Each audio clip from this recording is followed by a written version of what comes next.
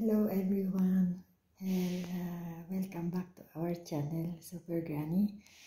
Uh, I will show you uh, the normal food or simple uh, nutritious food that uh, usually uh, eaten in in the province in the province you know in the living in the farm like that so I will show you.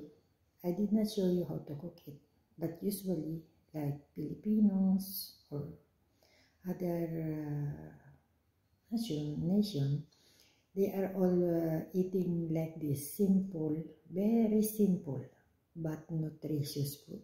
Okay. I did not show you how to cook it.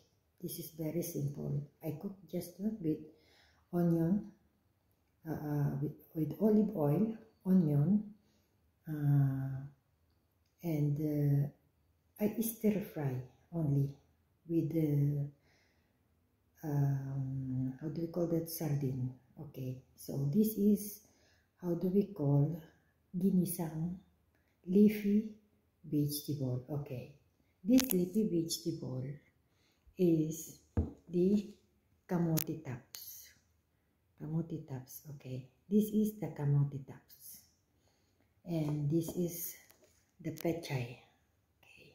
This is pechay and this is the malunggay. So this is the one uh, this is the ingredient of this uh, food. This is my lunch for today.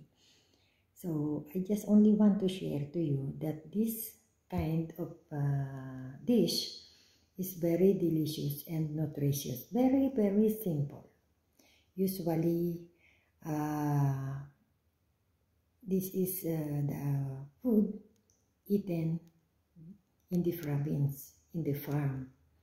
Uh, because in the farm, the kamote top is very easy to grow. The pechay, malunggay, it's very easy but full of nutrition, okay? So this is uh, usually eaten with rice, this, like this because this is my lunch so I want to share it to you that this kind of food is uh, very nutritious okay? So I hope I uh, share again to you one of the nutritious menu or dishes in uh, our channel okay? Thank you for watching. This is super granny channel. Try to subscribe and click the bell button for the uh, notification okay? Let's eat and enjoy watching my videos. Thank you for subscriber thank you for the viewers.